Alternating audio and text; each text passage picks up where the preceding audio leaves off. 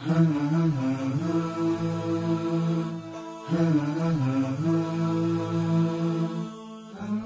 بين يديك وتجهله. بسم الله الرحمن الرحيم. الحمد لله والصلاة والسلام على رسول الله صلى الله عليه وسلم. السلام عليكم ورحمة الله وبركاته.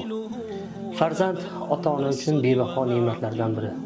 Har bir dunyoga kelgan farzand sof islom fitratida dunyoga kelarkan uning qanday voyaga yetishligi qanday inson bo'lishligi ota ona tarbiyasiga bog'liqdir.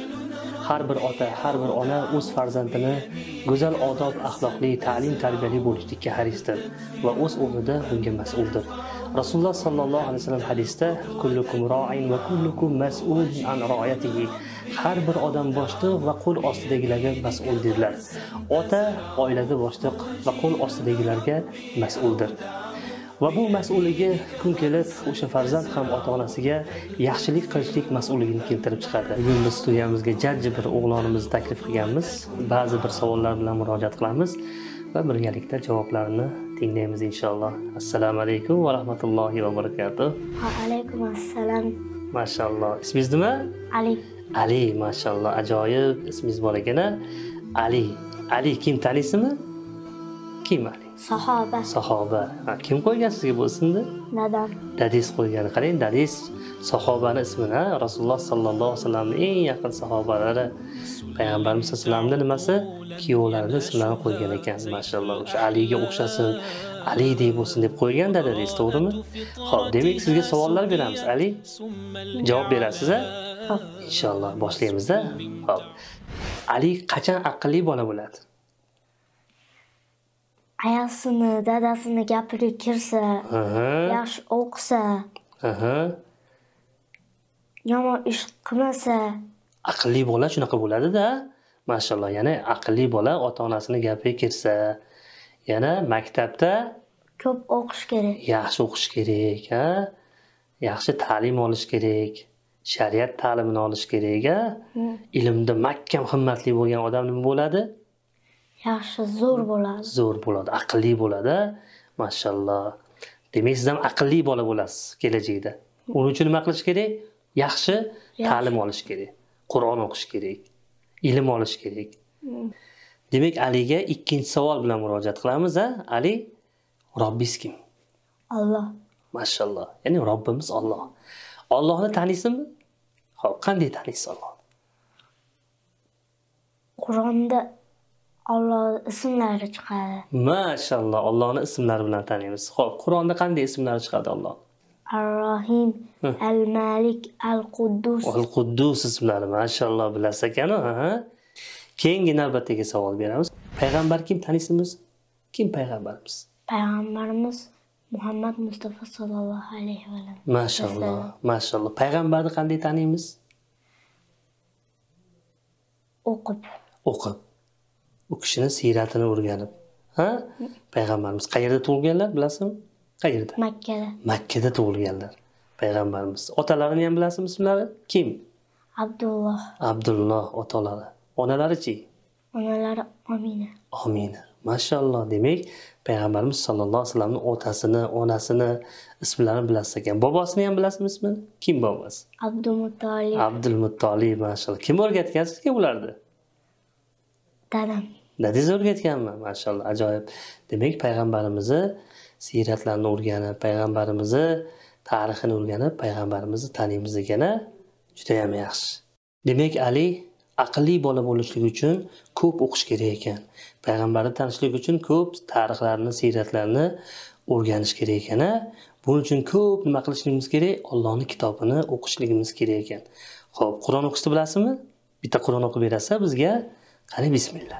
Auzu billahi minash shaytonir rojim bismillahir rohmanir rohim قل هو الله أحد الله الصمد ين- لم يلد ولم يولد ولم يكن له كفوا أحد mashalloh qarang endi keling birgalikda shuni o'qiymiz a men aytaman orqamdan qaytarasiz bo'ladimi qani bismillah أعوذ بالله أعوذ بالله من الشيطان من الشيطان الرجيم الرجيم بسم الله بسم الله الرحمن الرحمن الرحيم مهم. قل هو الله أحد. قل هو الله أحد. الله الصمد. Allohu somad. Lam yalid. Lam yalid. Wa lam yulad. Wa lam yulad. Wa lam yakul lahu. Wa lam yakul lahu. Kufuvan. Kufuvan. Ahad. Ahad. Mashallah. Demak, Qur'onni to'g'ri shoshilmasdan o'qishligimiz kerak. Buning uchun nima qilishligimiz kerak? Domlani yoniga borishimiz kerak. Domlalarni oldida ustozlarni oldiga borib ta'lim olishligimiz kerak a ali kelajakda kim bo'lmoqchisiz? Katta bo'lganingizda kim bo'lmoqchisiz? Olim. Olim bo'lmoqchimisiz qanday olim bo'lmoqchisiz? Suralar o'qib qur'onlar o'qib namozlar. Mashalloh demak shariat olim bo'lmoqchisiz qur'on o'qib uni tafsirlarini qilib mashalloh olim bo'lishlik uchun endi sizdan ko'p narsa talab qilinadida bilasizmi ko'p mehnat qilishingiz kerak. Qilasizmi mehnat? Qanday mehnatlar qilasiz? Ko'p yaxshi bo'lib o'qiyman. Yaxshi odobli bo'lib o'qiysiz. Dadingiz gaplari kirasiz zo'r mashalloh. Shundagina nima bo'lishi kerak ekan yaxshi bo'lish kerak ekan keyin?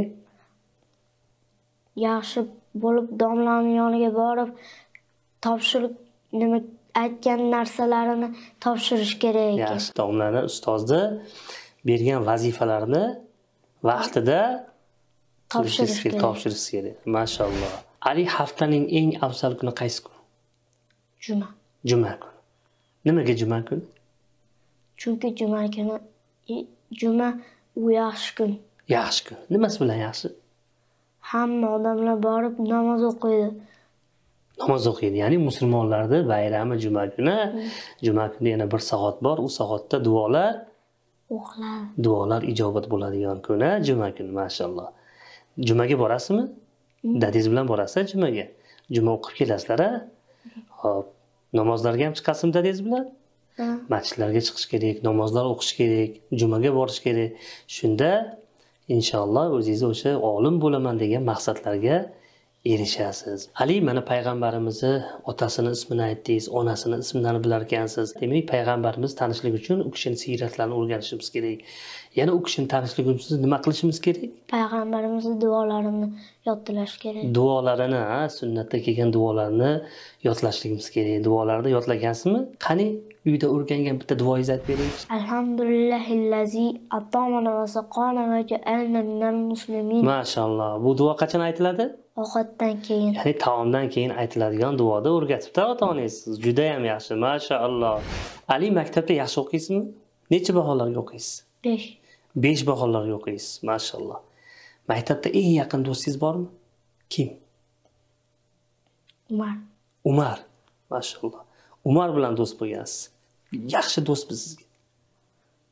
Eng yaxshi do'stim kelib turadi meniga zerikib ketsam u kelib turadi o'yinchog'imni so'rasa berib turaman. Berib turasiz. o'ynaymiz birga dars qilasizlar birga Mm.